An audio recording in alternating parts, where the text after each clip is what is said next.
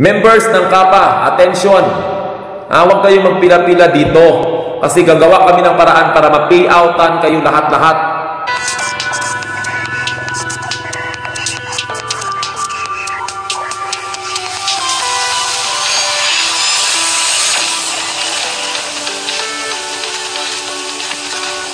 That is why I'm so happy with the partial report that I was able to receive, no? That there are a lot of banks in the Philippines who wanted to accept the G-Zion as legal tender. So pag tinanggap na nila yan, ala, sige, put up kami ng billion-billion na pera sa bangko para nang sa ganun doon na pag-pay out, magiging service center na lang yung bangko. Why? Maharlika man na magsweldo. Doon pa lang sa pinadala ko na, doon pa lang sa pagbasa ko ng mga bangko na may mga utang, or what, what we call this, nung nag-release, illegally release, using the hanging account, yun, nagbi-meeting na yun ng mga bank. Magtatanong man ng manager, hala, paano na ito? Baka madamay tayo dito, baka mapreso tayo nito. Tatanungin nila yung boss nila, yung may-ari ng bangko, hala, unsa man na, mapapanik, o sige, wala na tayong magawa, tanggapin na lang natin ang GIZA, yung total, buffer, Oh, 'di ba?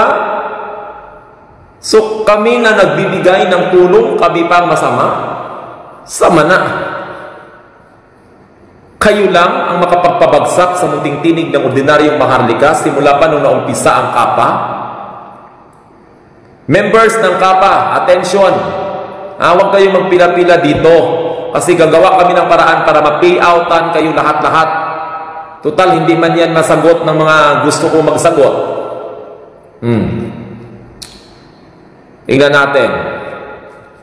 Problema sa inyo kasi kay masyado kayong marunong. Sir Glenn, good evening po. Pinadala mo si Dato Magsisibya na binigyan mo siya ng lakas ng loob upang ipahayag. Yan sabi niya, titingnan natin yung mga basa natin. Ah, naka-minus sobra ang mga taong nakapag-aral ng mataas na antas ng lipunan Nakakalungkot talaga isipin na akala nila nakaangat na sila sa lahat dahil sa talinong natutuhan nila. Kaya sarado ang isip nila. Tama yan, Ate Franz. No?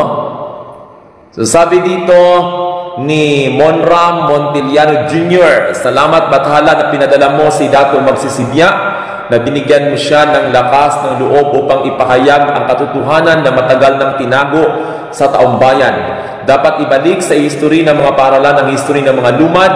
Mas binigyan pa natin ng pansin ng mga taong sumasakop sa ating bayan kaysa sa mga lumad na lumalaban at nagbuwis ng kanilang mga buhay para sa ating inang bayan. Salamat kanimo, Sir Glenn. At syempre, sa taong nasa likod mo, mabuhi tayong lahat.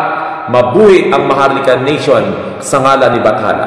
Kung ano mang makakompose man sila ani, no? So, eh, ako, ang problema lang kapag magsalita tayo dito, sabihin nyo na naman kaagad, hala, baliw, no, tulad nito, maratas na ito, no? Di ba? Sabihin niya na nagababa yung ba, nagabasa lang daw bunganga ko. Asa ka kakita bunganga na mala? Sige daw, be. Nakakita kang bunganga na walang laway? Siyempre may laway. Di ba?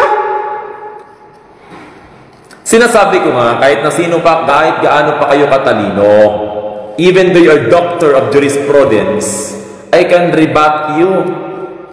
Simple lang gamitin ko sa inyo. Puso ko lang gamitin ko. Kayo, utak kayo.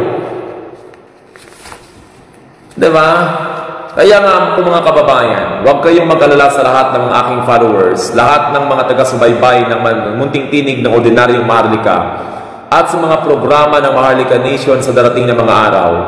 Kung hindi man kayo nakapila dito, huwag kayong mag-alala. Kasi dili, alangan magasto kayo, papunta kayo ng Isla Bukas Grande, magasto kayo, sakay kayo ng plano, hindi pa man magamit. Hintayin ninyo, kay nga naman, pag magbuo na yan, kay total, malaki lang, ilang billion na ang ating na-release dyan. Dan pa lang sa 197 countries, it is already a matter of 349 billion pesos.